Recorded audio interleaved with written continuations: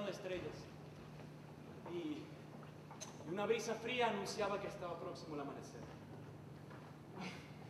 Seguramente ya estarían arreglando ese negocio de quién iba a bailar con quién en el próximo sarao.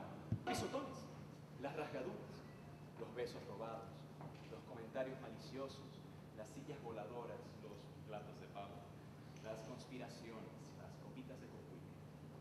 Y queda esa sensación de que se bailó tanto, tanto, pero tanto que clareaba el día y todavía se sentía y se escuchaba el rozar de los botines y las zapatillas en el suelo de, baldosas.